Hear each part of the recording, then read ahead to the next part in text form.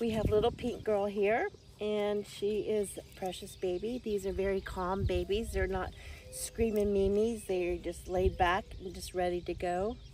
Yes, aren't you, huh? Pink girl. Look at this head. Look at that nice body. They look like little English cream babies.